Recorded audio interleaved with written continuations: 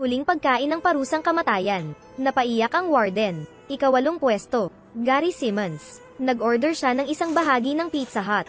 Magdagdag ng mga mushroom, sibuyas, mainit na paminta, sausage, at mag-order ng dagdag na pizza na may mga olibo at matamis na paminta, tomato, bawang at Italian sausage. Sampung kahon ng keso, sampung garapon ng pampalasa, mais na may keso, Mexican adobo na sili, dalawang bote ng coke, dalawang strawberry smoothies, dalawang kahon ng strawberry ice cream at isang pakete ng merienda na keso. Nakapagtataka na kinain niya lahat.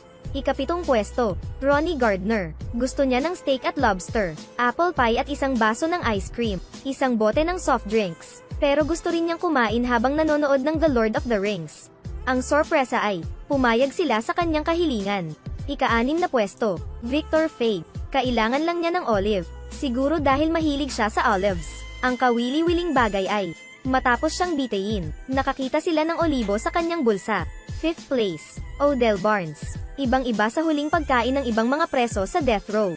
Napaka-espesyal ng pagkain ni Barnes. Umaasa lang siya para sa kapayapaan sa mundo. Ang pag-uugali na ito ay kumakatawan sa kasabihan na ang namamatay na tao ay nagsasalita ng tapat. Fourth place, Lawrence Brewer. Isa siyang white supremacist. Noong 1998, gumamit ng relo para pumatay ng isang itim na lalaki. Ang kanyang pagkain ay ang pinakamalaking pagkain. Pritong manok, steak na may gin utay-gutay na karne at sibuyas. 3-tiered na hamburger, egg roll na may halong gatas at baka, kamatis, sibuyas, berdeng sibuyas, isang mangkok ng tinadtad na mainit na sili, isang kalahating kilong inihaw na karne at kalahating piraso ng tinapay, tatlong Mexican roll, isang meat pizza at isang box ng ice cream, isang peanut candy at tatlong lata ng beer, matapos may hatid ang kanyang pagkain. Tumanggi siyang kumain muli, kaya simula 2011, bilangguan sa lugar na ito, Huwag hayaan ang mga preso sa death row na humingi ng huling pagkain. Ang ikatlong posisyon, Eileen Carol Warnos, isang serial killer. Kapag hinatulan ng kamatayan, humingi lang si Lola ng isang tasa ng kape. Actually bago kumain sa cafeteria ng kulungan. Kumain ng hamburger at iba pang basura si Lola. Pangalawa, Philip Ray Workman. Ang huling pagkain niya. Ito ang pinakakakaibang pagkain. Siya ay pinatay dahil sa pagpatay sa isang pulis. Pagdating sa huling kainan, humingi siya ng isang malaking pizza, para sa mga walang tirahan.